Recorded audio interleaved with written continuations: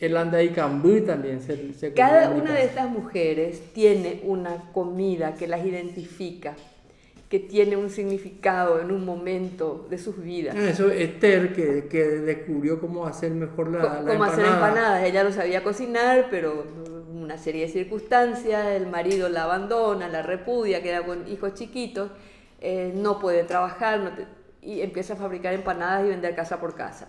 Pero las hace con un, o sea, tratando de hacer la mejor masa y el mejor relleno.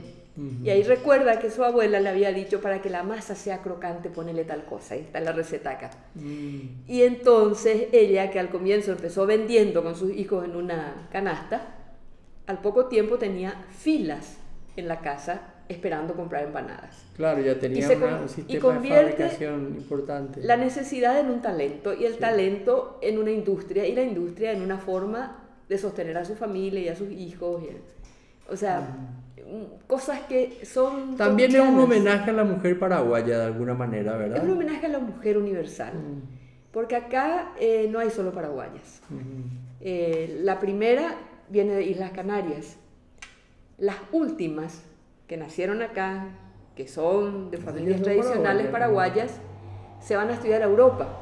Entonces ahí se tiende otra vez ese otro puente. ¿Qué somos los latinoamericanos? Somos europeos que vinimos, que, los, que absorbimos la cultura indígena, que nos inoculamos con la cultura indígena. Ya no somos totalmente europeos, somos mestizos acá en Paraguay, eh, pero no somos mestizos 50-50. El- porque el primer mestizaje fue 50-50, pero después otra vez se va dando una europeización. Sí. Pero, pero nuestra cultura es 50 indígena.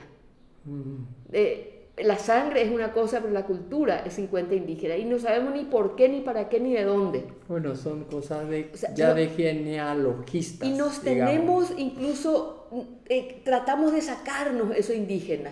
¿Por qué? Renegamos, Eh, no lo valoramos. mm. Y voy a concluir con esto. Eso es, eso es cultural nomás. porque- Es cultural. Porque Es cultural- interesante Es ser cultural indígena. porque no nos conocemos y no nos reconocemos. Y te voy, voy a concluir con algo que me dijo uno de mis consuegros, que es inglés.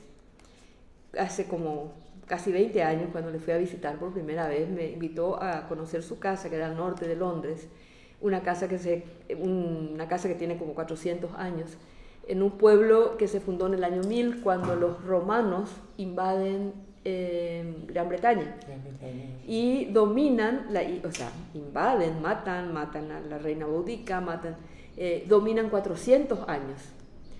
Y me dice él, nosotros, los ingleses, somos diferentes del resto de los europeos nórdicos, porque nosotros fuimos conquistados por los romanos y ellos nos inocularon su cultura y nosotros nos apropiamos de ella. Pero no perdieron su cultura. El inglés es lengua originaria que se nutrió de otras, pero es como el guaraní, es lengua originaria, es lengua aborigen, que se hizo universal, tal vez por su sencillez, por mantener la sencillez de su estructura. Tiene un montón de vocablos, inclusive tiene barbecue, barbacoa, guaraní, tiene jaguar, jaguarete, guaraní, eh, piraña, piraña, guaraní, eh, incorporados al, al inglés. Son inglés, así como en el guaraní tenemos greifu, que es guaraní, guaraní, pero viene del inglés. Eh, y el guaraní nuestro es la única lengua originaria de América que es universal. Y esto vamos a sortearlo eh, entre todas las personas que vean este video y que escriban, que escriban eh, qué les motivó esta conversación que tuvimos, que, aporten algo para reconocernos eh, como paraguayos y paraguayas que somos, eh, qué es lo que tenemos de identidad, de identidad profunda, de identidad que nos este, haga sentir humanos con algo importante que aportar a la humanidad.